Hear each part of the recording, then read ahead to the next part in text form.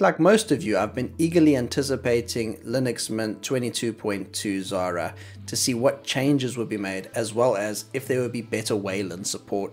And today we're going to get some of those answers thanks to 9to5 Linux, which released an article today that shows Linux Mint 22.2 has a beta out.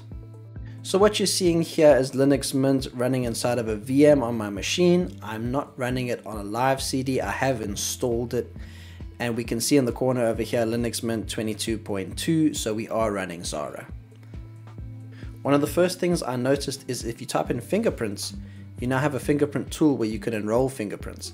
Unfortunately I don't have a machine that can do fingerprint enrollment so for now we can just see that the application does exist. Having a look at the OS release file shows us that the Ubuntu codename is still Noble, and we do know for a fact that it is based off of 2404.3, which has recently come out. Then looking at the system info, we can see the Cinnamon version is 6.4.8, which is obviously the latest version of Cinnamon, and the current display server is X11. Something else that's been mentioned is there is better libadwaita integration. So I thought we might give that a try. I know the disk tool is running on libadwaita, so let's open that up. And we can kind of see the difference already because of the rounded corners and it feels very much like a Gnomish app if you use Linux.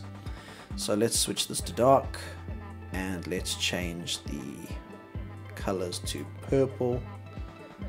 And yeah, for the most part, it does seem to be integrating the theming pretty well.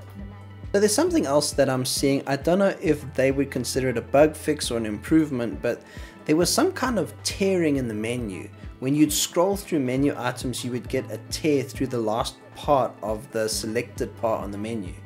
And I can see that that's gone because it's definitely working as intended even if I'm scrolling. So kudos to you, Linux Mint team. If that is a fix you have put in, the, the one guy that's me that noticed that that's unhappy about it is very happy now. Last thing I thought we'd check out is Wayland support.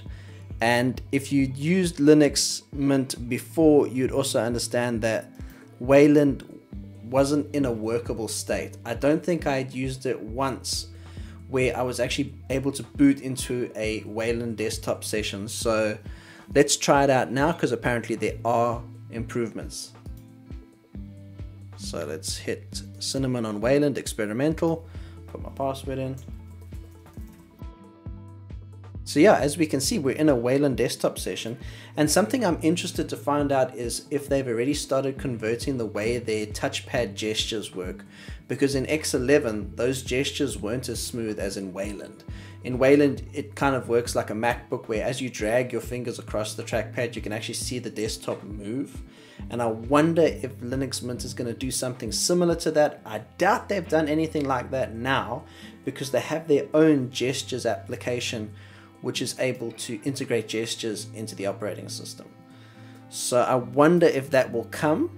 My guess is right now it'll work the same way that it works in X11, but we'll have to see. That's all I could find. If I missed something, please let me know. If you found something, please let me know. And if you'd like me to do more videos like this, please hit the like button and uh, let me know in the comments. Thank you so much for checking out this brief checkout of Linux Mint 22.2 Zara beta. I'm super excited to see the final version come out when it does. Thanks so much for checking this video out. It means a lot to me. If you enjoyed it, hit the subscribe button and I will see you in the next video.